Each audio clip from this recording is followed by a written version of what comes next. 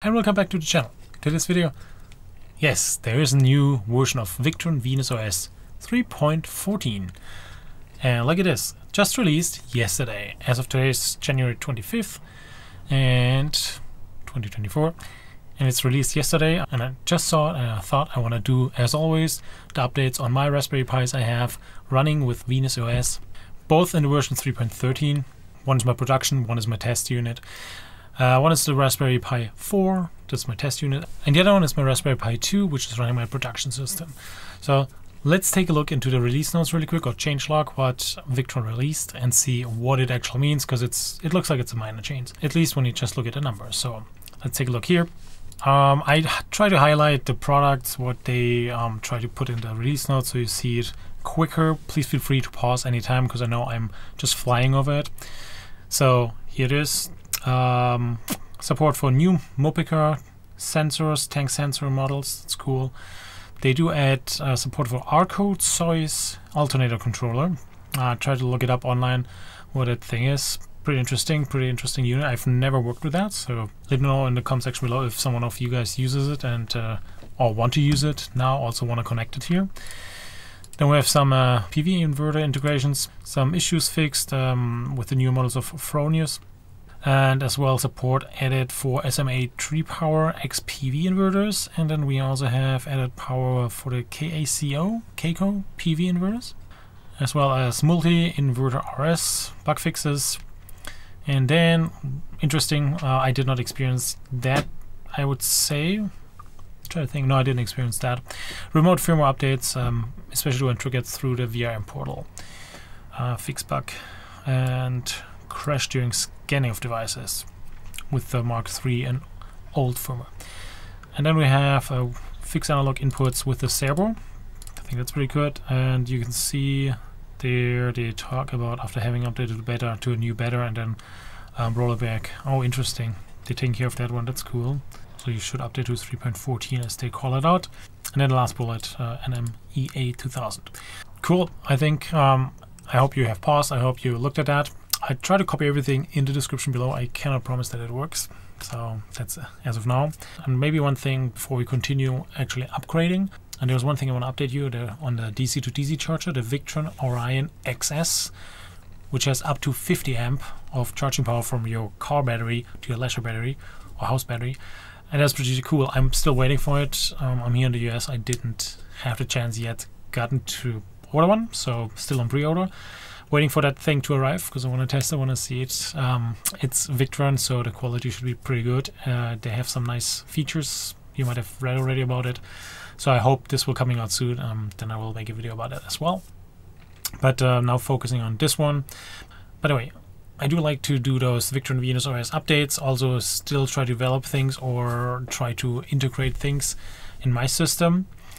Uh, if you have any ideas what I should do next, what I should or can look into, that would be great. I saw, for example, one thing which I thought was so interesting, uh, but I haven't gotten all the parts yet, and it uh, was just not possible for me to do at the moment. But having an inverter which has a remote connector, you know, one of those old telephone connectors almost, having one of those, and then and then connecting to the Raspberry Pi, and then using the VR portal or using the console or whatever to turn it on, turn it off, which then also works remote, obviously.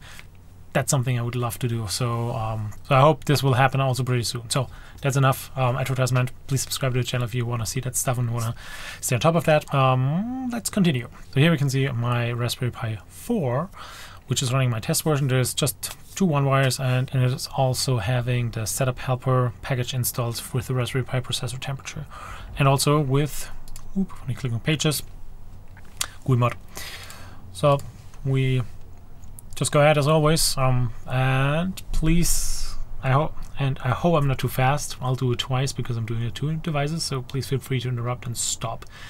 But now going settings, firmware, and now we can see. Oh, I'm on a interesting. Sorry, didn't even roll back. It looks like. Uh, let me roll back first. Alright, again, let's check. Menu, settings, firmware 3.13. Let's go to online updates. And now I want to change the update feed. I do want to have the latest release. And now I'll go check for updates. There we are, 3.14. Any questions? Perfect.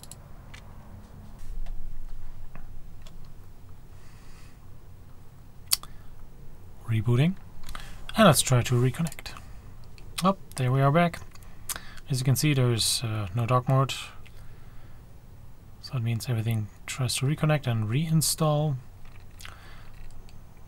Setup helper is doing its job. I heard a bunch of time that uh, for other people it didn't work as good so far. Um, I think last time updating to 3.13, video up there, um, I had one time an issue, I think, where we had to uninstall a package and delete part of um, the installation path. But then afterwards it was able to download and install again, so if you need some troubleshooting advice, that video, that's the way to go. And I hope it helps. There we are. Nice. We do have setup help installed. Let's go into the settings. Let's check the firmware. We're running on 3.14, so that was successful, it looks like. Let's go back one, and now we scroll down all the way to Package Manager. Looking into here, refreshing GitHub version information, that's fine, keep doing that. And let's check on the active packages. Because here you can see setup helper is installed. Raspberry Pi display setup, Venus OS temperature service, that's a Raspberry Pi uh, processor temperature. And then we have the GUI mods down here. So everything seems to be installed and running, no issues. All the packages were back up, back and installed. That's really nice. That's refreshing. Uh, let's check here the GUI mod really quick. Whoop, sorry. Click, there we go. Nothing connected, so except for the two one wires. Here, those ones, and they lay close to each other. Close enough. That's where there's just a little tiny bit of a difference. Great. So my test unit's running. Usually you should let it run maybe a little bit. If you have a similar setup, if you have maybe all the components running and connected to it so just to make sure everything of your equipment is running and working before you would upgrade your production system just advice you don't have to uh, but we'll switch now to my Raspberry Pi 2 which is my production system as I mentioned a couple times and here we see it we do have also oh, we also have here the Raspberry Pi processor temperature which should be also installed through the setup helper as well as the dark mode is activated to highlight that part and then we have two Victron components. One is the Smart Shunt and the other one is the Smart Solar Charger MPPT. Uh, it's dark, nothing's connected in terms of sun. Anyhow, we'll check settings. Let's go to firmware, same as before. Interesting, I had both updated to uh, one of the last versions. I have also have to revert back really quick. I'll do that now, changing the update feed, and what I want to do is stored backup firmware first. I'm gonna revert back to 3.13. Uh, actually, yes, I'll do that first because I don't wanna uh, risk that I might break something here. So I'd rather go one version back and then upgrade to 3.14 because 3.20 is a little far ahead. So I'm gonna avoid that part. Let's try to reconnect. And there we are, back up. Everything's still, still connected, running. Let's go back to settings, firmware really quick. We are back on a 3.13. Now we go to online updates. I did change already the update feed to latest release and we have the image type large here. So let's check for updates. The update before was probably one to two minutes, so it was a very, very quick update with the smaller image. With the large image, uh, image I expect a little longer update, so let's just go ahead. And rebooting. Oh, there it is. Oh my goodness. It's white, but we do see already Raspberry Pi processor temperature. We do see um, both Victron components connected, but we do not see the GUI mod installed yet. But maybe it's happening right now. That's what I like about this setup helper, and there's a video up there, which should still apply to this. It's great. It's just helping so much. So again, uh, Kevin, thank you so much for developing this. Even though I don't know this um, person, but thank you so much. That's so helpful, and I think a lot of people, a lot of users, actually using this because it makes it makes your life so easy and refreshing. Let's reconnect, and there we are. Nice. Look at that. Color changing works. Uh, it looks good here. Let's go to settings. Let's go to firmware. Let's confirm. We do have the version 3.14. Go to menu back. Now go to pages. Takes a little bit. There we go. And we do have our GUI mod. Nice. That's good. Going back to menu, going back to settings, and I want to check uh, the package install, so I'm scrolling down all the way. Package manager, Checking for downloads and install. Perfect. Active packages. Let's see what we're having. Setup helper installed. Shutdown monitor installed. Raspberry Pi temperature not installed. But the Venus OS temperature service is installed. There we go. I have to clean up this stuff, it looks like. Because I think I did uninstall a couple packages and I... Yeah, like the Raspberry Pi GPIO setup, I don't have running at all at the moment. Nothing's connected there.